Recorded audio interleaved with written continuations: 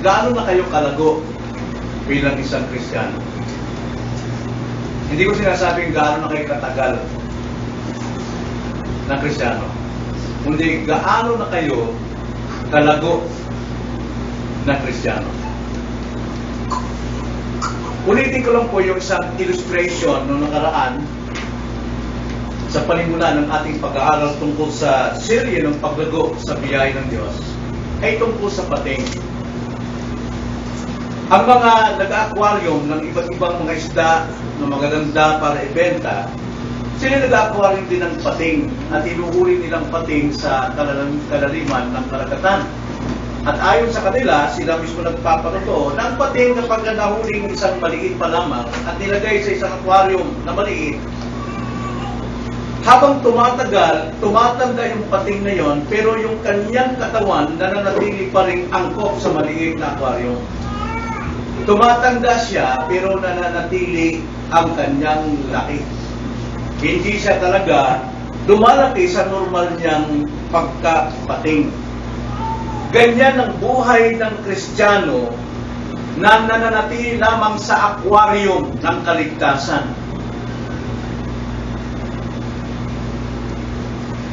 At hindi ini-explore o ginagalugad ang buong kalawakan ng kalayaan ng isang Kristiyano sa buhay paglilingkod sa Diyos. Kaya ang kalaguan ng Kristiyano ay hindi nababatay sa dami ng alam, kundi nababatay paano siya nakapaglilingkod sa Diyos. Walang tao na hindi nakakaranas ng biyaya ng Diyos, either common grace or special grace. Lahat ng Kristiyano ay nasa biyaya. Ang sabi nga po sa, sa, sa Acts chapter 17, In Him we live and move and have our being. Tayo po'y nabubuhay sa Diyos, kumikilos sa Diyos, at ang buong buhay natin ay nasa Diyos. Sa makatwid, tayo'y nasa biyaya ng Diyos. Ngayon, ang biyayang ito ay dapat makita sa buhay natin na ating isinasagawa upang makita at masukat ang ating karaguan bilang Kristiyano sa buhay biyaya. Na alam natin ng buhay Kristiyano ay nagsisimula sa bagong kapanganahan. Hindi ka maaring lumago hanggat hindi ka naipanganak. Ang isang baby, physical baby, hanggat hindi ito nailuluwal, hindi yan maaring lumaki. At kung hindi siya mailuwal, mga kapatid, sa takdang panahon, mamamatay siya. Mawawalan siya ng buhay. Ganon din po ang isang tao na hindi na ipapanganak na muli, hindi siya lalabas upang lumago, kundi siya'y mananatili doon hanggang sa kanyang kamatayan sa kapahmakan. Kapag ang isang sanggol ay naipanganak, ano ang palatandaan? Umiyak. Ibig sabihin ng umiyak, ititanda na mayroong buhay. Mayroon na siyang bagong buhay. At kapag siya'y umiiyak, ano po ang nahanap niya? Humahanap siya ng makakain upang lumago. Yan po ang tanda ng buhay. Kaya itong pagkakaiba ng relihiyon at kristyanismo. Ang relihiyon, tao ang nagsusumikap abutin ang Diyos upang siya'y kalugdan. Samantalang ang kristyanismo, Diyos ang umaabot sa tao upang maipanganak na muli ng mabuhay at lumago. Yan po ang pagkakaiba. At kasunod ng kapanganakang muli ay ang paglago. At ito ang ating pagtatalakay tungkol sa siring paglago sa biyaya. Bago lahat, tayo ay manalangin. Panginoon, ngayong umaga, nagpapasalamat kami na sa kabila po ng aming pong mga nararanasang kabigatan, kahirapan, sakit, kirot ng aming pong buhay, ay meron kayong tinagdang araw na kami po'y makapagpahinga sa iyong piling. At higit sa lahat, kami po'y makapagpapahinga ng aming isipin sa trabaho, sa buhay, sa limutan, at may tuon namin ang aming mga isipan sa inyong mga salita na nagbibigay buhay at nagbibigay atin. Aliwin niyo kami, Panginoon, at bigyan niyo kami ng buhay ngayong umaga sa aming pong pag-aaral ng inyong mga salita. Ito ang aming dalangin sa pangalan ng Panginoong Jesus. Amen. Nakaraan po, nakita natin ang kahulugan ng paglago sa biyaya. Una, tinalakay natin ano ang hindi paglago sa biyaya. Hindi ko na po ulitin yun. At ikalawa, nakita natin kung ano ba talaga ang paglago sa biyaya ng Diyos. Then atin ding nakita, nakaraan, ang mga tanda ng paglago. Nakita natin ang apat na tanda na ating tinalakay. Dito tayo nakafocus noong last time. Una, dapat lumalago ang tao sa pag-ibig niya sa Diyos at pag-ibig niya sa kapwa. Hindi mo maiibig ang kapwa hanggat hindi ka muna umiibig sa Diyos. Eh, hindi mo rin maiibig ang Diyos hanggat hindi mo naranasan ang kanyang pag-ibig. We love God because God loved us first. Then kapag tayo po'y umiibig na sa Diyos, ang pag-ibig ng Diyos sa tao ay walang pagtatangi. Unbeliever or believer, good or bad, ay wala pong pagtatangi ang Diyos. Dapat yun din ang ating pag-ibig sa ating kapwa. At ikalawa, lumalago sa pananampalataya. Ibig sabihin, sa lahat ng buhay niya, ano man ang kanyang, kanyang ginagawa, whether he eat or drinks or whatever he, he does, ay ito ay ginagawa niya sa pananampalataya niya sa Diyos. Okay? At ikatlo, lumalago siya sa kaalaman ng Diyos. Sa kaalaman tungkol sa Diyos, buhay na wala hanggan po ang makilala ang nag-iisang Diyos na buhay at si Kristo na kanyang sinugo. At habang siya po'y nakakaalam tungkol sa Diyos, nakakalaya siya sa kanyang mga kasalanan everyday sa kanyang buhay. Ang pang-apat, lumalago sa hangaring magpakabanal. Ang sabi pong magpakabanal, maganda kanyang pakikipagturing sa kapwa. Sinabi sa Hebrews chapter 12 verse 14, Pursue peace and holiness, for without which no one shall see the Lord. So, makikita natin kabanalan na hindi tayo nagsasamantala sa ating kapwa, hindi tayo nananakit sa ating kapwa, sapagkat namumuhay tayo sa pag-ibig ng Diyos. Kaya nga, love is the fulfillment of the law. Ngayon naman, sa ating pagpapatuloy, matapos nating malaman ang kahulugan ng paglago sa biyaya, ang mga tanda ng paglugo sa biyaya, tignan man natin ang mga kasangkapan sa paglago sa biyaya ng Diyos. Napakarami pong means of grace ang Panginoon sa atin upang tayo lumago sa biyaya. Babanggitin ko pong ilang mga maliit na bagay na kadalasan hindi natin pinapansin. Yung po yung pagtuturo ng ating mga anak tungo po sa kalaman sa Diyos that is means of grace, lumalago ka pati ang iyong mga anak. Yung po yung ikaw ay magkaroon ng pagtitipon sa mga anak mo na turuan silang mag-behave Imbis na pabayaan na nagsisigaw, nag, nagtatantrum kapag sinasaway, that is God's means of grace na lumalago ka sa iyong katungkulan at lumalago, at nakikita mo yung kalaguan sa pamagitan ng pagbibehave ng iyong mga anak. Ilan, ilan lang yan sa mga bagay na ginagawa ng Diyos na means para tayo lumago sa ating buhay kristyano at nakikita sa ating mga anak. Kung hindi mo masaway, madisiplina ang anak mo, nagpa nagkakahulugan, hindi ka lumalago. Kung ang mga pamilya mo ay nagkawatak-watak at walang disiplina, hindi ka lumalago. Kasi yan po ang mga palatandaan sa bahay na lumalago ang mag-asawa. Pero kung hindi ka pa Kristiyano, wala ka talagang paglago. Kailangan mong matanggap muna si Kristo bilang iyong Panginoon. So, tingnan natin isa-isa yung kung kadalasan natin ginagawa na mga means of grace sa paglago sa biyaya. Ang tanong, sino ba ang nagpapalago? Natural, hindi na kailangan sagutin yan, kundi ang Diyos. Pero ang Diyos ay naroon sa trono. Naroon siya sa langit. Sino ang kanyang sinugo? Hindi ang Papa, hindi ang Papa ang vicar of Christ. Hindi siyang kapalit ni Kristo. Hindi ang mga pastor ang kapalit ni Kristo. Sinong kapalit ni Kristo? Ang banal na Espiritu.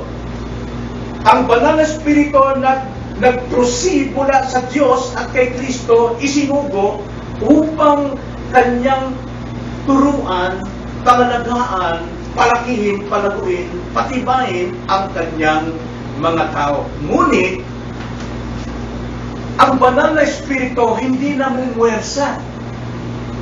Kundi siya ang nagbibigay ng conviction sa puso natin upang bawat isang Kristiyano ay gawin niyang kanyang katungkulan. Katungkulan. Kaya nga, kung ikay sinasabing mananampalataya pero walang gawa, hindi mo nagagawa ang katungkulan mo, ang iyong pananampalataya ay patay. Kaya kung hindi mo nagagawang mag-devotion, hindi mo magawang mag-family devotion, bagamat may conviction ng Espiritu Santo, nakikitang patay ng iyong faith, hindi ka lumalago. Okay? So ngayon, tignan natin ang ilang mga means of grace ng God para sa ating paglago sa biyaya. Ano yung number one ginagamit niya? Ano yung kasangkapang ginagamit ng Diyos upang lumago ang kanyang mga tao? Number one is His Word. Ang kanyang salita. Na ang paglago sa biyaya ng Diyos, ito'y inihalin tulad tayo sa isang sanggol na bagong silang. Okay? Bakit po bagong silang? At hindi sa mga batang maliliit. Alam niyo po, yung mga batang maliliit, gumagawa na po yan ng mga ugaling hindi karapat-dapat. No? Kaya ang sabi, huwag tayo mag-isip bata pagdating sa kasamaan kundi kayo'y maging sanggol na bagong silang pagdating sa paghahangad ng salita. Minsan yung mga bata, tinatapo na yung pagkain eh. Namimili ng pagkain, ayaw ko lang ganyan, gusto ko sa hindi. Gusto...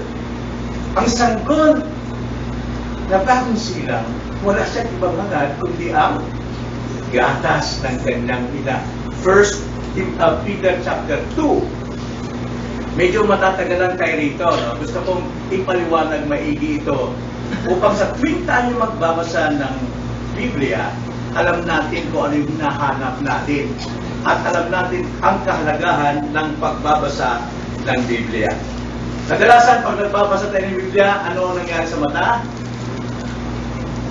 Ano nangyari sa ating mga mata? Nagluluha. Parang napakabigat, parusa talaga magbasa ng Biblia, umiiyak dahil gustong matulog. Pero tingnan nyo, pagkaka natin ito. Verse 2, Gaya ng mga sanggol na bagong silang, ay mithiin ninyo ang malinis na espiritual na gatas upang sa pamamagitan nito'y lumago kayo tungo sa kaligtasan. Hindi sinabing lumago kayo para maligtas. Hindi no? Kundi tungo sa kaligtasan. Ibig sabihin, lumago kayo sa buhay kaligtasan. Kung natikman nga ninyo ng Panginoon ay mabuti. Kung kayo nga ay born again na. Kung kayo nga ay Kristiyano na. Ibig sabihin ng verse 3. Now, tingnan natin isa-isa ang bagay na ito. Yung salita kong gaya, sa English yan ay, ano sabi sa English? As? Okay. Tingnan, ko sa English lang. uh, sorry, para huwag tayo magkamali. Sa English ay like or uh, sa ESV yung like, sa NASB ay like this. Sa, sa King James, as. Okay. Yung po yung like or as, ito isang adverb. No? Ito isang pantukoy. Na pantukoy na gawa. Ang ibig sabihin niyan, tulad ng, no? Tulad ng, ibig sabihin, gaya o tulad ng isang bagong silang na sanggol, mithiin ninyo ang malinis na espiritual na gatas ng ano? Ng salita ng Diyos sa Christian. Pero sa sanggol ay gatas ng ina. Now, gusto ko lang magbigay ng isang paglalarawan. Ang isang sanggol, ang sabi dyan, nagmimithi. Now, dapat malaman natin gamitin yung salita ng pagnanasa, pagmimithi, at paghahangad. Pagnanasa, iba ang connotation dito. Ito yung tumutukoy sa lust, lust of things, lust of flesh, lust of sex. Paghahangad, ito yung matinding maangkin niya isang bagay. Pagmimiti, pinapangarap na gusto niyang maangkin. Ginamit dito pagmimiti, hindi pagnanasa. Kaya dapat alam natin ang context ng salitang ito. Kasi, halimbawa, nag-pray ka, Lord, matinding aking pagnanasa na maligtas ang babae dito. Ay iba pong ang meaning niya. Kung po tayo sa tatlong salita dito, desire sa English, no? desire. Pero sa Tagalog, may iba-ibang kahulugan. Ang sabi dyan, gaya o tulad ng sanggol na nagmimithi ng malinis, espiritual, naggatas ng ina. Now, wala akong magamit na ibang illustration dito kundi yung aking apo na si Ai. Yung aking sabi ni si yung aking sariling apo. Now, hindi ko mas sinasabi na uh, tunay kung ako ay forced na yung apo na sa ibang bagay. Hindi yun ang ibig sabihin, alam yung context. So, maliit na bagay lang yun. Yung aking uh, sariling apo. Hinatid namin sila, pati yung aming uh, kumari namin sa kanilang bahay, kasama yung aming apo, at namili lang sila ng sandali, mag-asawa, sa loob ng, uh, lumili ng electric fan dahil mainit sa bahay nila. Alam nyo, ilang segundo lang, ilang minuto lang, umiyak na itong bata, iyak ng iyak, iyak ng iyak. Dahil talagang hindi talaga, kahit anong sayaw ni Cecil, kahit uh, pinapatawa ni Mama, hindi talaga, pati yung, yung tumaan namin, nag-aalala na. Kaya sabi ko, tika, hanapin ko yung dalawa, saan na? Paikot-ikot ako ron, hindi ko alam. Anong gusto kong tukoy dito? Yung po yung pag-iyak ng bata, hindi dahil basa siya, hindi dahil siya, siya ay inaantok, kundi siya nagugutom. Naroon yung kanyang pagmimiti. Naroon yung kanyang sa English pa, desire. Hindi pagnanasa, kundi pagmimiti, paghahanap.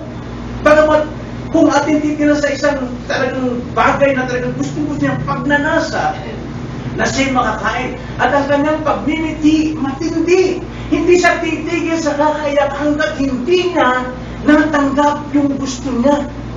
At hindi siya titigil, kagabi, nandun kami, pinainom ni Mama ng gatas eh. Wala sila si Lloyda, namili sila.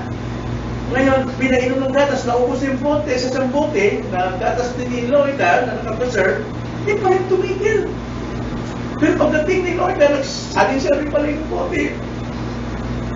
Tumigil pa rin. At alam nyo ginawa niya, niluwa na yung gatas noong siya ay na busog. Ang pagmimiti ng bata sa gatas, hindi sa titigil hanggat hindi siya nabusog. Yun ang nakita kong paglalarawan ng mitiin ng isang sanggol. Hindi ko titigil. Naroon yung kanyang mainit, talagang hangarin at mabusog sa kanyang minimithing gatas. At ang sabi sa ating text is malinis. Sa English, adulterated. Okay? Meron ba sa English niyan? Uh, ibig sabihin po ng malinis dyan is adulterated. Ibig sabihin, binimiti ng sanggol ang purong dalisay na espiritual na gatas ng ina. Haluan mo yun mga kapatid ng uh, yung batang bagong silang na kailangan niya talaga yung gatas na ina. Haluan mo ng ibang gatas yon magdudumi yun. Hindi magandang sikmura. Kakabagan kung ano ang mangyayari sa kanya. At dahil ang minimiti niya, yung talagang pure, malinis, unadulterated, talagang milk ng kanyang nanay. Now, pagdating po sa pagbabasa natin ng salita ng Diyos, yun ang dapat maging ugali natin. Yung po yung pagmimiti ng sanggol na bagong silang. Na walang Kristiyano rito na ipinanganak na sanggol. Lahat ng Kristiyano ipinapanganak sa Espiritu na may sapat na isip para sumampalataya kay Kristo. May sapat siyang kaalaman tungkol sa kaligtasan na kanyang tatanggapin. Hindi nagsisimula sa bata, kundi siya ay isang matanda na, pero pagdating sa spiritual, siya ay sanggol. Kaya sa kanyang paghanga sa spiritual na bagay na salita ng Diyos, tularan niya ang pagmimiti ng isang sanggol na bagong silang. Na nagmimiti, sobra ang kanyang pagmimiti, makamit ang kanyang nais na malinis, walang halo, na spiritual na gatas ng salita ng Diyos. Pag sinabi kong walang halo, like for example ngayon, narinig niyo binasa ko ang Word of God, 1 Peter chapter 2. Hello? Narinig niyo binasa ko yung 1 Peter chapter 2? Pero once na ito yung pinaliwanag ko, puro pa bang narinig niyo? May halo na. Kaya danger na kung magbabasa tayo ng salita ng Diyos, umaasa tayo kung ano yung nakapako na sa ating isipan. Yung mga preconceived idea na bibigyan natin ng meaning ang ating binabasa. Pag yan ang ginawa natin, adulterated po yung ating binasa. Kung umaasa tayo sa commentaries, pero, hindi ko yung sinasabing hindi naman ang preaching. Kailangan natin yun kasi preaching is wooing of our hearts. Talagang nililigawan tayo ng ating puso. Pero sa pagbabasa natin, ikaw mismo at purong salita ng Diyos ang iyong natatanggap at binabasa. Kaya napakalaga nito ang personal devotion. Ganun po katindi. Ang pagbasa po ng purong salita, diyan ka lumalago. Isa yan sa means of grace na kailangan magbasa tayo every day ng salita ng Diyos. Kaya paulit-ulit po natin ipinapangaral yan na magbasa ng salita ng Diyos. Alam po sa inyo, ilang taon na kayo Kristiyano, ilang beses nyo na nabasa ang buong Biblia, walang makasagot dito. Bakit? Hindi ka nagbabasa eh. Pero hindi nyo ba alam, ito yung means ng Diyos na marinig mo sa iyong puso, sa iyong uh, spiritual ear, na ang Diyos ay nagsasalita sa iyo ng purong-puro. Kaya mayroon nga tayong scripture reading eh. Kahit sa papanong paraan, nababasa natin ang whole Bible sa loob ng isang taon na adulterated talaga. Kaya sabi sa Proverbs 30 verse 5 and 6, ang sabi sa English, everything God says is pure.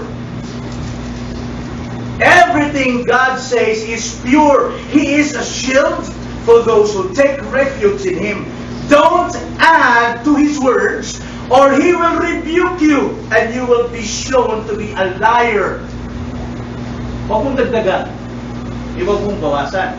Revelation chapter 21, ang sino mang magdagdag ng kasulatan nito, yung prophecy nito, ay mayroong tiyak na kaparusahan. Now, hindi ko sinasabing masama ang commentary, hindi ko, masa, hindi ko sinasabing masama ang preaching. Pinapaliwanag sa preaching, pero kung nais mong lumago, drink pure milk from the Word of God. Kahit tingnan mo yung apo namin, wala pang isang buwan. Ay dalawang pinang hapa. Hindi dahil lahat dahil matatangkat, kundi umiinom ng gatas. Ano sabi niyo? Lumalago ba kayo sa salita ng Diyos? When was the last time you read the, book, the, the Bible? Saan? Ang dami nating gawin. Ah, panahon. Mas mahal yung trabaho mo eh. Eh, hindi ka pala lumalot tumatanda ka tulad ng pating banso. Pero pating ka rin. Kitang-kita ko na kayo dyan. Ito yung kalagahan ng personal devotion. The second means of God is problem. Problems and experience. Problema at mga karanasan. Brad, ayaw ko ng problema eh. Ayaw ko ng pagsubok. Gusto ko ang buhay ng Kristiyano, mas yung tunay. Mas yung tunay. Kasi mali yung tagtang yan. Kaya hindi natin kinakanta eh. Kailangan mong dumanas ng problema. Ay, hindi mo na kailangan natin ng problema. Nandiyan na yan. Baka ngayon lang, may katabi ka dyan, problema mo na eh. Pero ang kailangan dito, paano mo haharapin ang problema. Paano harapin? Ang sabi ni, ni Jesus Christ, John 8, 31, 32, kung kayo'y nagpapatuloy sa aking salita, malalaman ninyong katotohanan at ang katotohanan ang siyang makapagpapalaya sa inyo.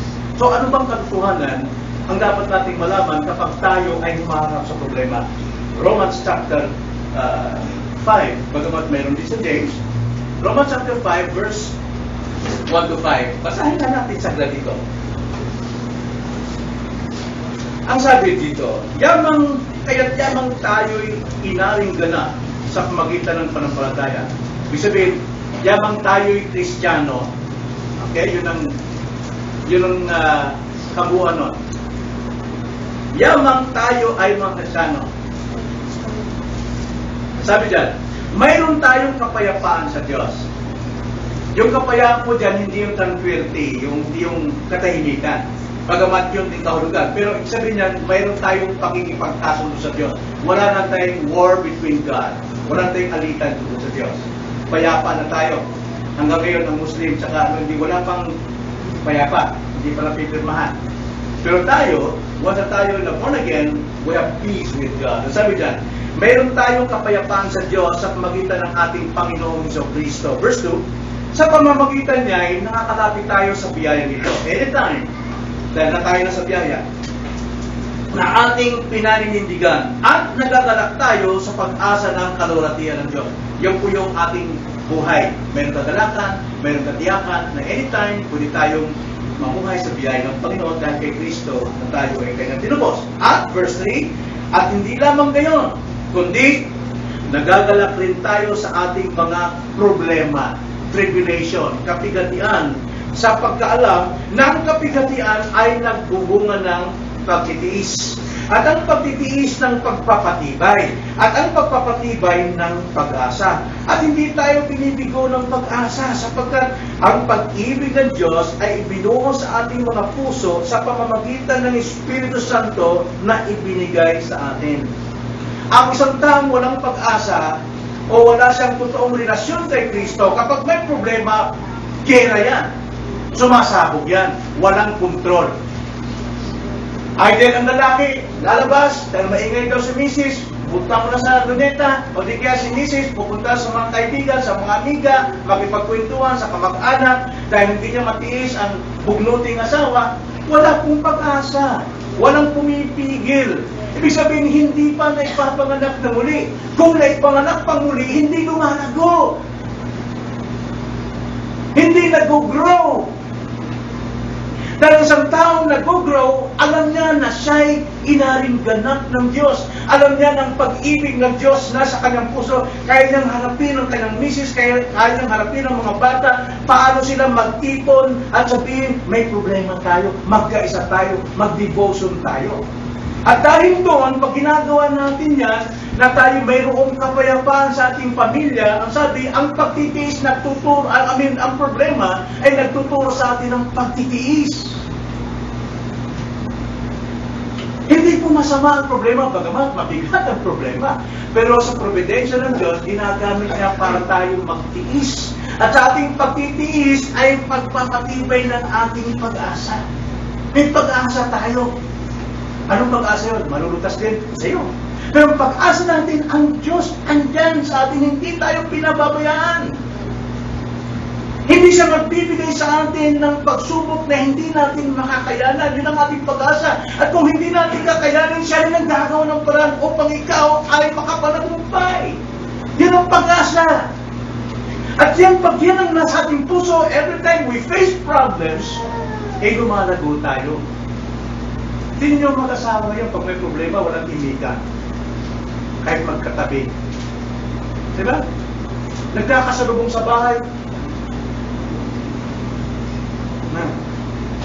Para bang, para bang magnet na repel. Pag natapat, di ba? Pagka nagkakatapat, eh dapat eh, magnet talaga, dapat nagkakaisa. Bakit? Hindi lumalago. Hindi pa kahit tanggapin ng problema. Puros bunganga. Dahil sawang-sawa na ako sa mga bunganga pag may problema. Pag walang pera, ang askat na mukha, ang kilos, pamagsak lahat. Pag may pera, ay, ano mo ulam ngayon? Pag may pera, money talks. Eh, sabi na dito sa ating talata, kahit walang pera, eh may pera, eh maliit o wala, eh dapat puno tayo ng pag-asa. Dahil nahuhubog yung ating pagtitis. At hindi tayo pinipigo ng pag-asa dahil taglay natin ang pag-ibig ng Diyos. Paano hinaharap ang problema? Pag mayroon pong di pagkakaulaman mag-asawa, dapat isa sa inyo ang gumawa ng hakbang na magpakababa humingi ng patawad. Huwag kayo magantayan dahil kung magantayan kayo, walang darating. Kundi hanggang masira sa inyong relasyon, nakapasok sa satanas, sira ang inyong pamilya. Isa ang dapat ang magsimula. Isa ang dapat mag-initiate. Eh, sino ka muna? Siya dapat. Siya lalaki. Dapat siyang pinigyan ng patawad. Well, talagang tama yun. Dapat lalaki. Pero kung ikaw babae, ang unang huling patawad, napahiya mo siya. Napahiya mo siya, at matututo siya. Then thirdly, napakarami po nito mga kapatid, pero ubusin natin. Pangatlo, baka nakakalita natin ito eh. Dumating sa pintuan natin yung ganitong means of grace, nagulantan tayo, naging problema pa natin yung means. Ikatlo, ay ang ating privadong devotional life. Yung ating personal devotion. Mga kapatid, nakakabili na ito. Simula nung maging Kristiyano kayo, simula maging member pa rin kayo rito, hindi po nawawala ang aral na yan. Sabi nila, pabalik-balik na lang daw ako, pabalik-balik na lang daw ako. Talaga, pabalik-balik, wala naman tayong ibang ipapangaral eh. The old, the same old, old story. In a different way. Devotional life, na, natalakay natin natin ito kanina sa number one. Sa devotion natin, hangarin natin, mithiin natin yung dalisay.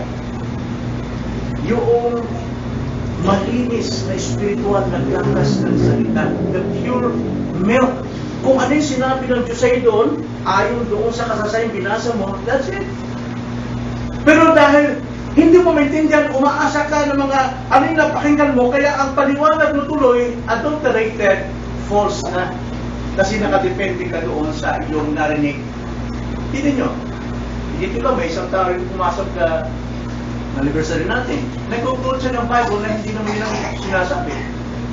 Hindi ko lang siya, ano, eh, dalawang beses na pinunta sa bahay, pero ayaw ko magpag-usap na gano'n.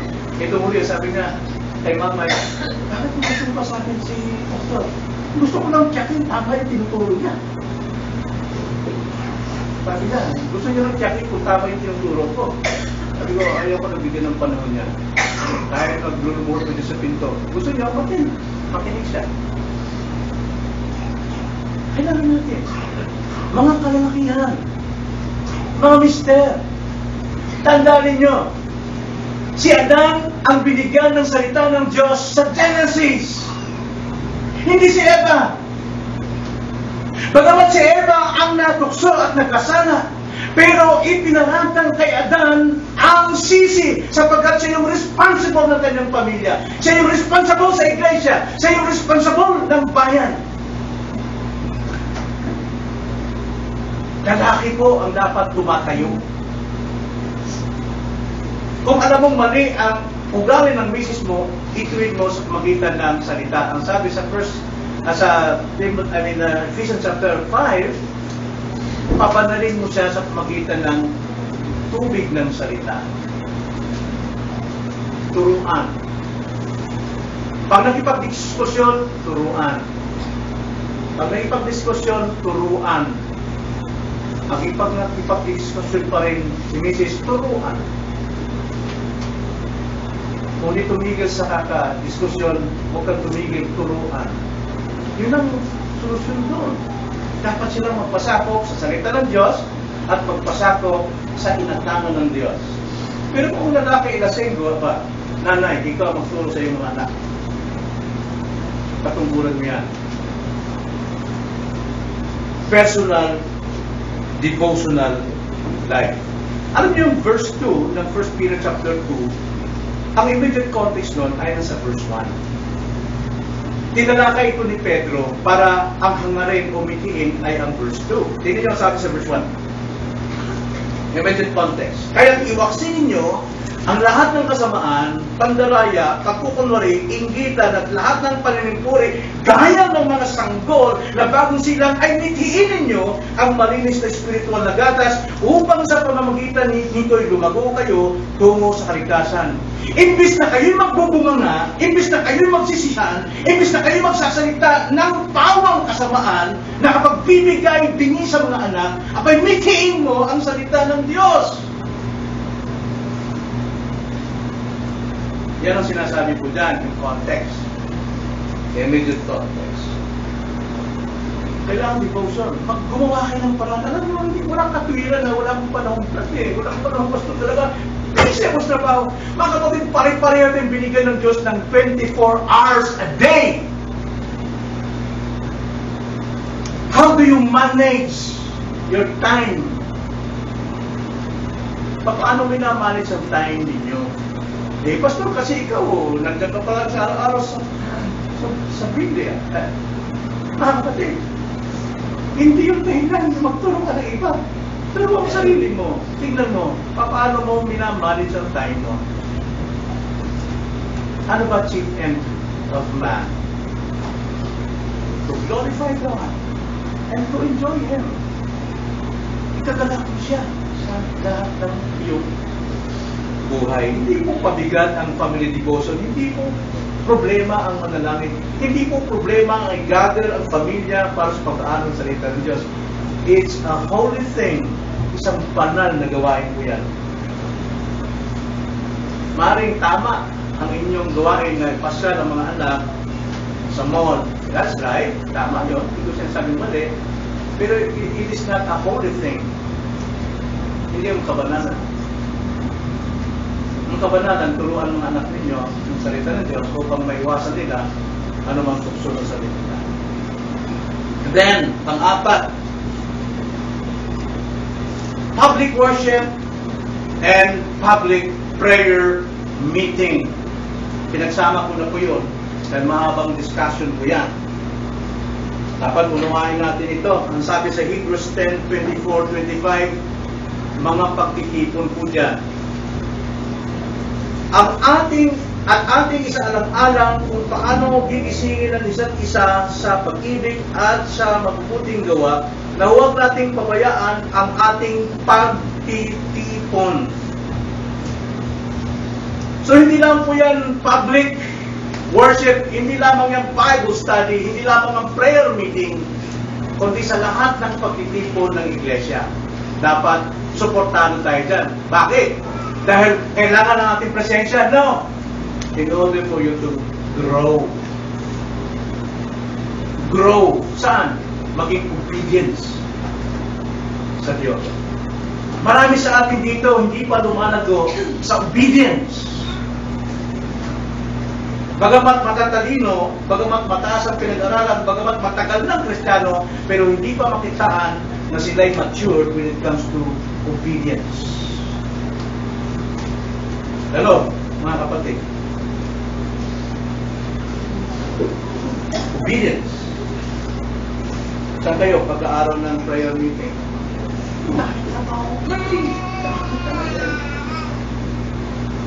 Kung may pagkukusa, maraming paraan.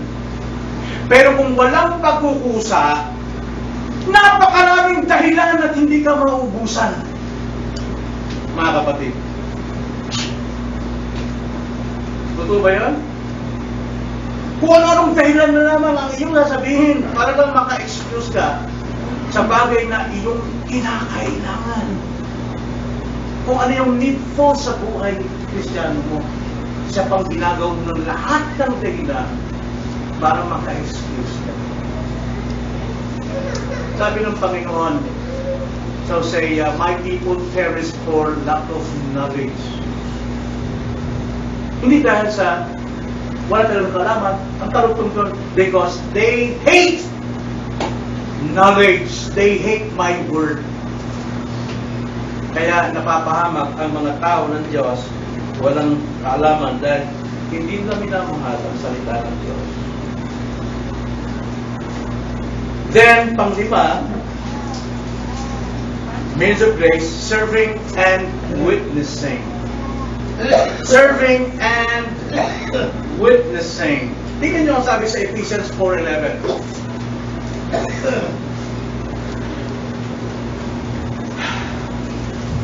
Ang sabi rito, sa NASB, I mean, sorry, sa NASB, ganito ang sabi, And he gave some as apostles, and some as prophets, and some as evangelists, and some as pastors and teachers. Na wala na yung marami dyan. Isummarize natin sa isa, sa isa lang salita. At ang Diyos ay nagbigay ng tagapagturo. Okay? Pastor or teacher. Ang Diyos ay nagbigay ng tagapagturo sa atin. For what? For the equipping of the saints, for the work of service, to the building up of the body of Christ, until we all attain to the unity of the faith and of the knowledge of the Son of God to a mature man, to the measure of the stature which belongs to the fullness of Christ. As a result, we are no longer to be children tossed here and there by waves and carried about by every wind of doctrine, by the trickery of men, by craftiness in deceitful scheming. Mayroon po tayong tagapagturo. Bakit po tayo tinuturuan? Bakit tayo tinuturuan sa iglesia? Bakit para luma, lum, dumami ang ating kalaman? Maraming ganyan. At yan ang nangyayari sa iglesia. Maraming alam. Kaya nakikipag-diskusyon sa iba't ibang kaalaman. Pero hindi lang layunin ng Panginoon na lumupo ang ating ulo sa kaalaman. Bagamat kailangan nating magkaroon ng kaalaman. For what reason? For what, uh, anong dahilan? For the equipping of the saints for the work of service. Upang tayo'y palaguin at ihanda sa gawaing paglilingkod. Yan po yun to be a disciple of Christ. Christian must be a disciple of Christ. Wala pong Kristiyano hindi disipulo ni Kristo. Walang Kristiyano hindi follower of Christ. Follower sa kanyang steps, sa kanyang gawain, even to his death. Yan pong layunin eh. To equip us for the work of ministry. Mag-witness tayo. Maglingkod tayo. Pero ito yung kinabibigatan ng bawat iglesia, bawat membro na maglingkod, ayaw magpaturo na maglingkod. Kailangan tayong turuan from ating head to foot para tayo ma-equip. Hindi tayo pwedeng lumusong sa, biya, sa, sa gera hanggat hindi tayo na-train. Pero sa training pa lang, marami na kumaayaw. Marawa, maraming walang interes sa pagsamba, walang interes sa prayer meeting, walang interes sa iba't ibang gathering ng Christian. Tumalago ba tayo? Anong ginagawa natin dito? Most of the Christians sa ilang nalalagay sa isang isang salita na plain church. Naglalaro lang. Naglalagay ng pangalan sa upuan. Akin to kung ano to. Tapos yung kung nasa pader, yung likod, eh medyo nangingitim na dahil matakas sa sandal. Sabi ng pastor ini, kala mo umaamin. Eh, hindi, minsan pag ano, pag sabi amen, hindi, pag ganun to, eh. Pag ganun to, pag amen eh. Amen! Tama ba? Tagilid eh. Minsan nakikita ko yun, nalalagdagan ng Bible eh.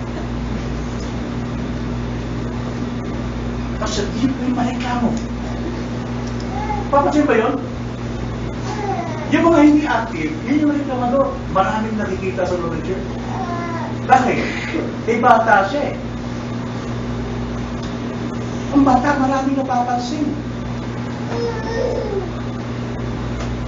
Eh, eh, eh. Next time po yan, susunod. Nakakatawa po yung araw natin, pero napakasaya. Next Sunday. Pero mga kapatid, hindi pa tayo tapos, pero ganda ko lang. Magkakaroon po tayo ng exam. Magkakaroon tayo ng exam. Baka hindi kayo matin, ha? Eh, hindi ko sabihin mo kailan ko bibigay yung exam. Katulad ng ginawa ko araw. Di ba? Kasi pag sinabi ko ngayong Sunday, walang ate. Pero magbibigay ako ng test sa inyo. Then, pangani, fellowship of the believers. Yung po yung pag-fellowship. Marami sa atin ayaw makapag-fellowship.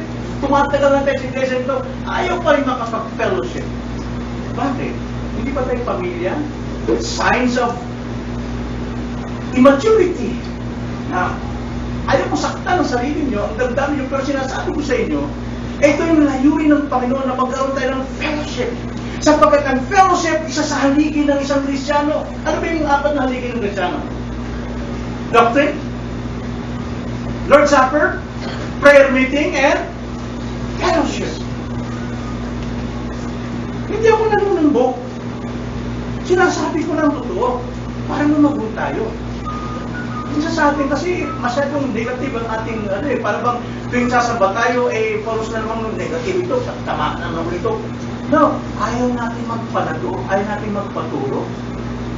So, dapat lumago tayo.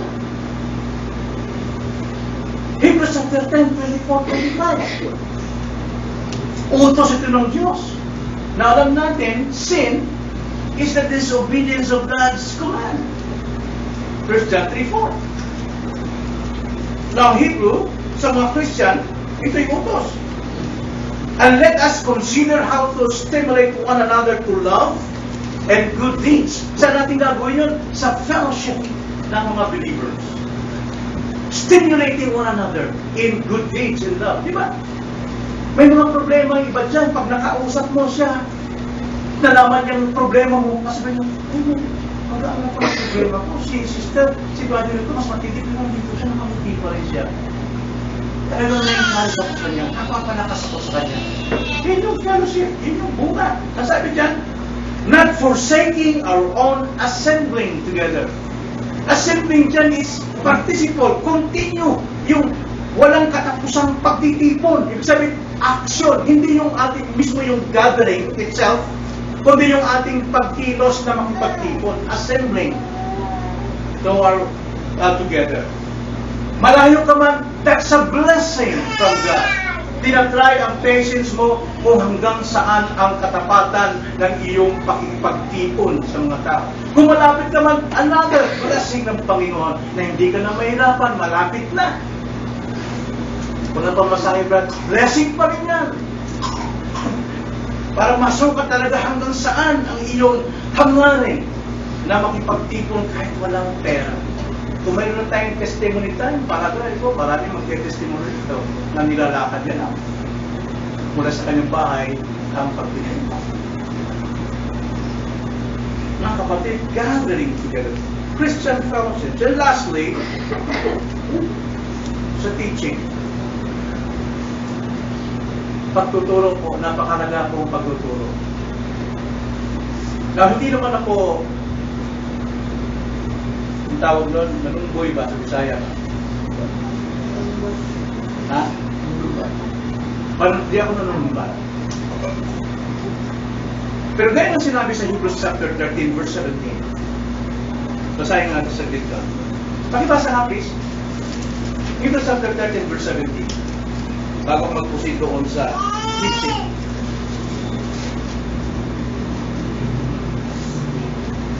Obey your leaders and submit to them. For they are keeping watch over your souls as those who will have to give an account. Let them do this with joy and not with groaning for the for the Malabo na magdadali. wala. Ah, okay.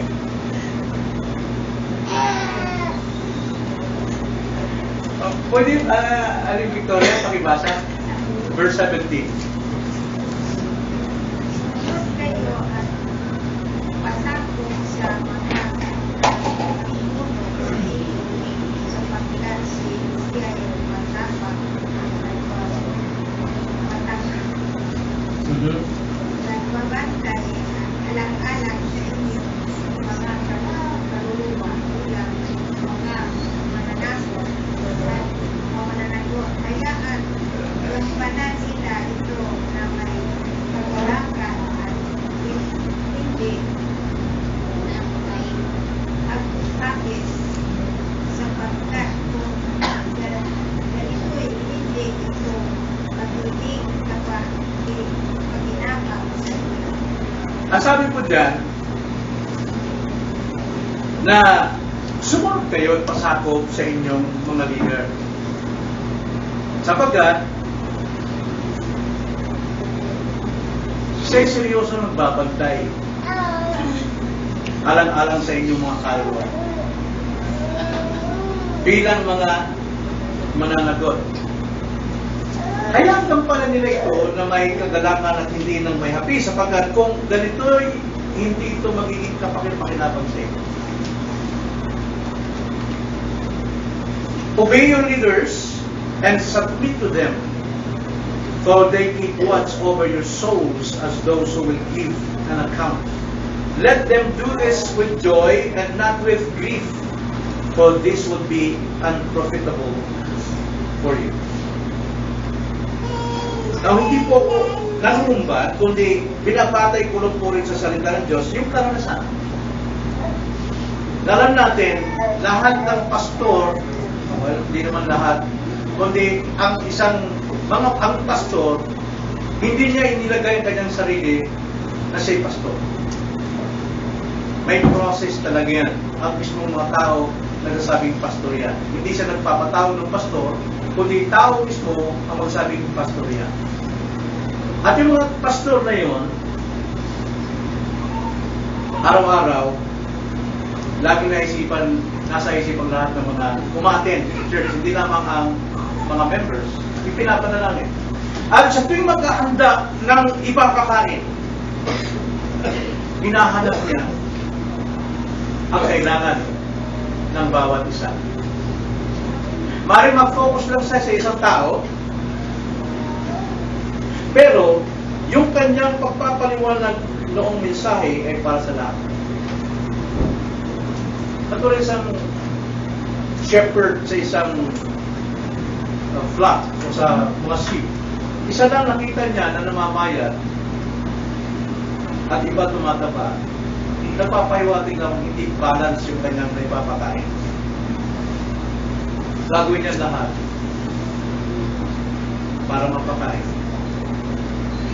Kaya napakahalaga po ang pagtuturo dahil pinaghahandaan po talaga yan para sa mga taong nangangailangan. Pero kung wala kayo sa oras na yun,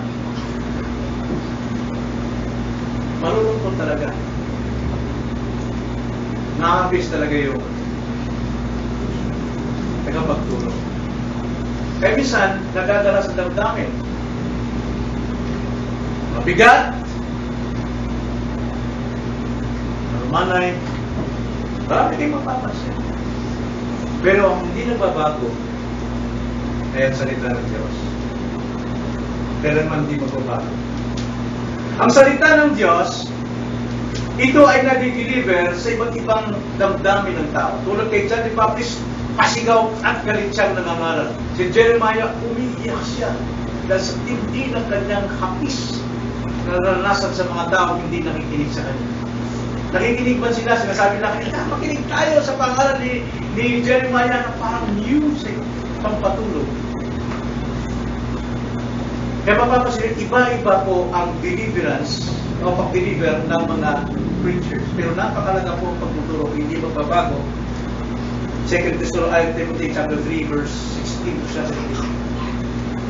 All scripture are inspired by God and is profitable for teaching, rebuking, refuting, so that the man of God will be equipped to all good works. Sa ating mananampalataya, ang tanong ko, dumaan na doon na ba kayo? Dumaan na ba tayo? Kumusta ang ugali mo? Kumusta ang paglilingkod mo? May kaganahan ba? Kumusta ang pagdadalo mo? Sa pilitan ba? Kumusta ang iyong pag-attend ng gawain? Huli na ba? Leftover na ba ang iyong nakakain? So, lumalago ba tayo? Anong palatandaan?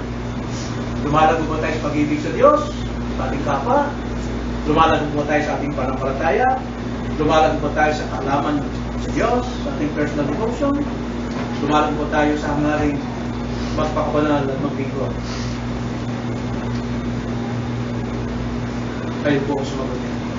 Tayo na lang.